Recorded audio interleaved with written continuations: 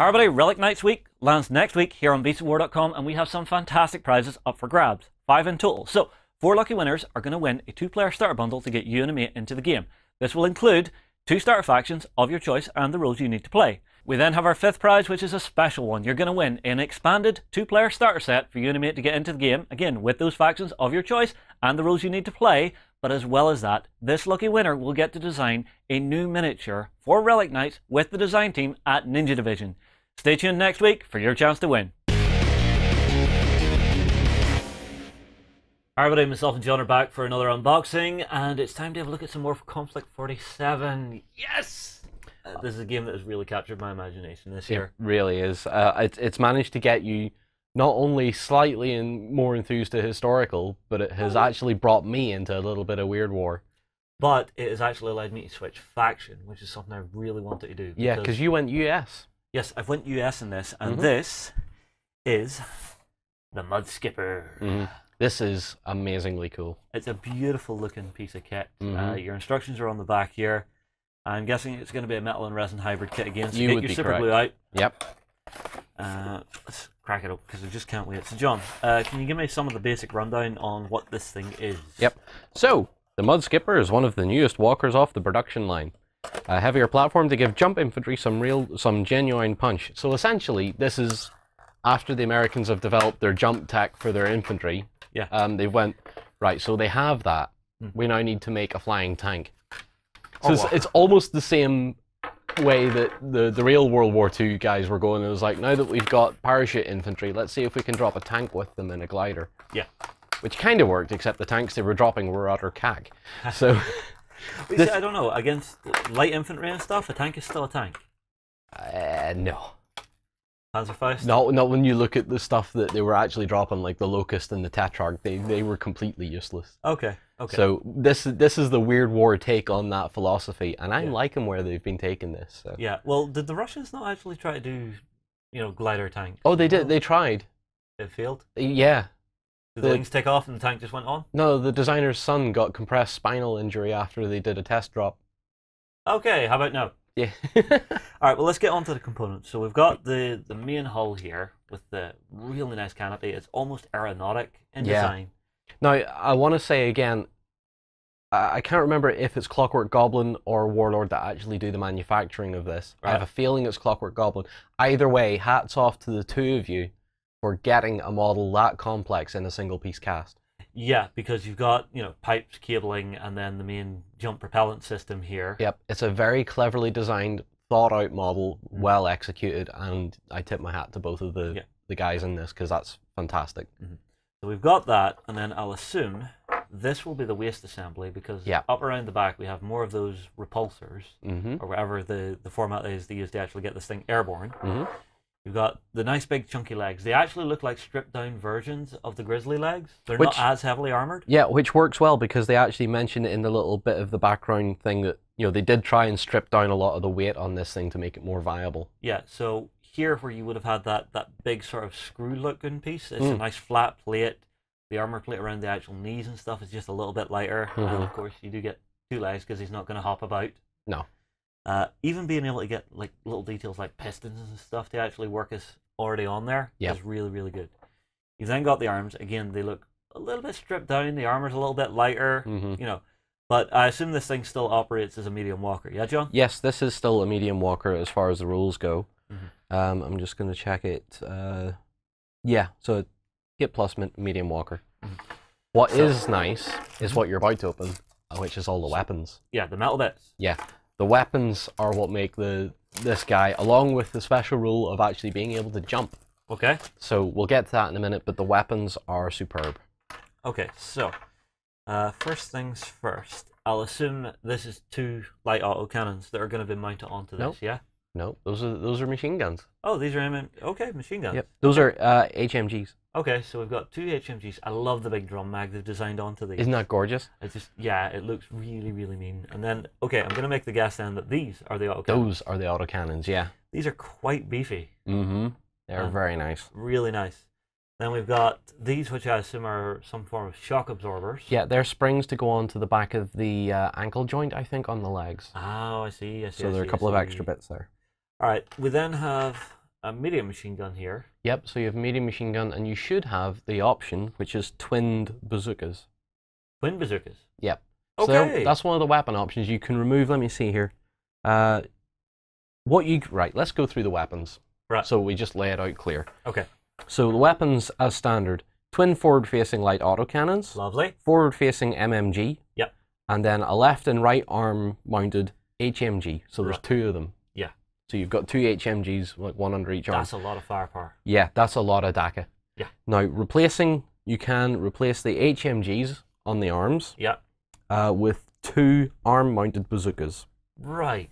So I, I like the fact that this has quite a bit of utility to it because you Mhm. can either go, okay, I know my body's bringing lots of infantry, let's load out with those HMGs, or Yeah. okay, I've been seeing some extra armor just hanging around the back of his field. Yep. Let's throw on some bazookas there and let's see what we get. Yep.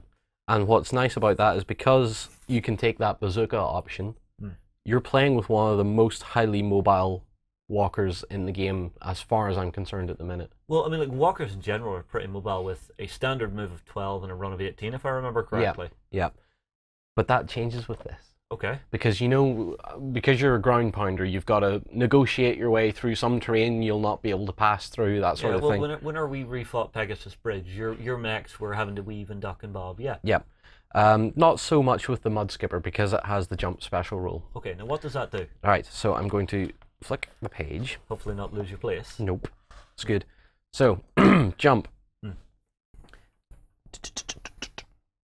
vehicles with the jump special rule ignore terrain Right. when moving, or sorry, ignore terrain when moving, uh, so are always considered to be moving in open terrain. So that's if they're out there, mm, you know, that's they have So- no impediment. They just go for it. So hang on. There's there's a building right in front of me. I can ignore that. Yeah. Because you're ta- you're using whatever the technology is, the repulsor tack or whatever. It just lifts itself off the ground and just travels. Right. Um, a vehicle with the jump special rule may also move over intervening models so long as it has enough movement to clear the troops and can land one inch away. Right. All jump movement is conducted at the vehicle's run movement rate and must be in a straight line. Right. So this thing can jump 18 inches. yeah, and it can jump over your stuff, which is important. Yep, so it can go over my models and it can land within one inch of yours. So what I could do is I could use this at the end of the turn, last activation, jump over you, hope to get an early activation the next turn, swing it round, and just shoot into the rear of your vehicles or something. Yep, if you've got those bazookas mounted up, you've got a very good chance of getting rear armor on a vehicle. That's nice. Mhm. That's very. That's nice. very nice. It's very scary as well because if there's objectives and stuff that you're holding, all of a sudden you now have to fight on a new front. Yeah. You know, I would want to run maybe two of these, although are they expensive? Um, let's have a look. Because the points value, I know this is really high end stuff for the Americans, so I'm Yep. not expecting cheapy cheapiness here. Right, so let's have a look here. Um, well, it can only be bought as a veteran. I see that as no bad thing because I like running veterans. Yep. Uh, it's 240 points base. Uh, so if you add, That's a bite. but I mean, you're only you're only increasing that to 250 by taking the bazookas. Sorry, 260 because you're adding 10 points per arm. Is it ten points per arm? Yep, per And arm. Can I do one arm and not the other?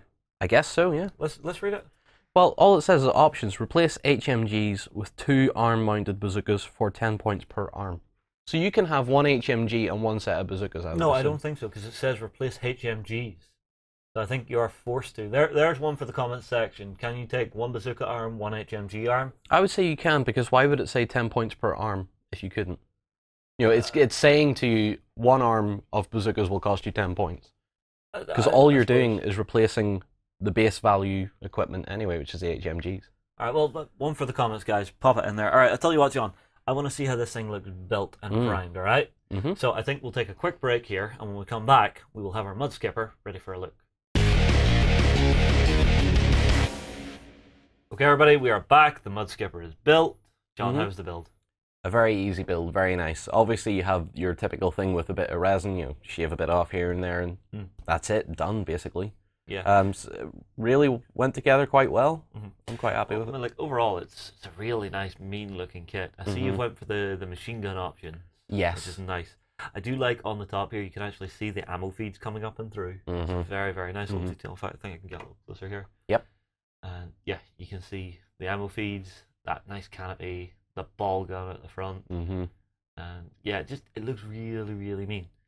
And then you've got the impellers here as well, which is oh Or- yes, Is yes, it yes, impeller or repulsor?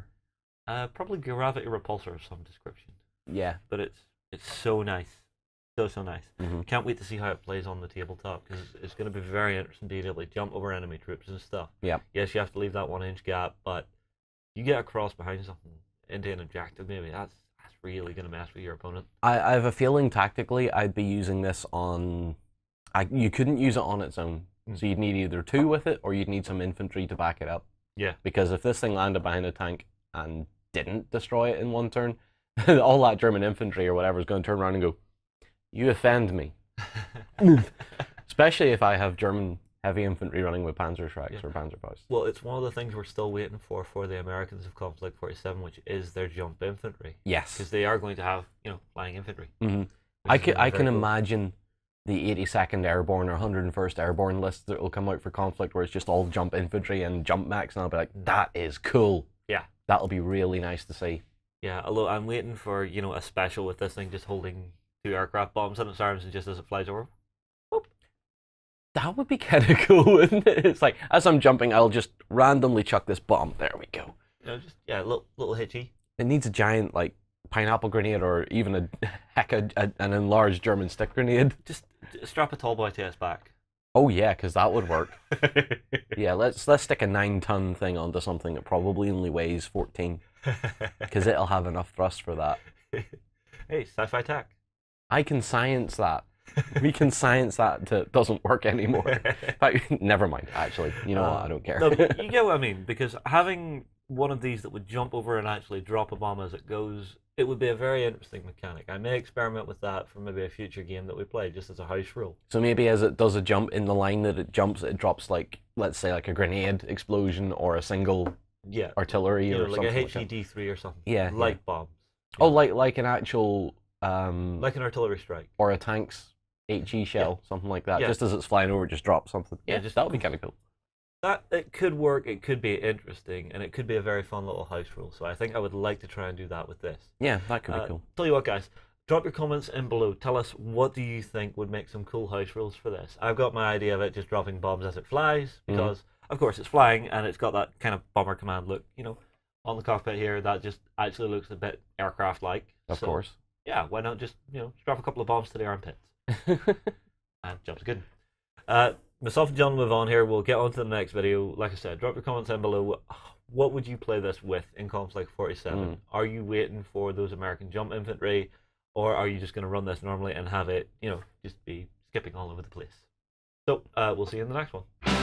Fight for the Iron Kingdoms as a warcaster. Take control of the mighty jacks, arcane devices, and dark sorceries to bring the fight to the Warmachine Hub on beastsofwar.com. Progress comes to a world of magic as science and the arcane combine to make marvels. Meet steampunk inventors and orc mystics at the Wolsung Hub on beastsofwar.com.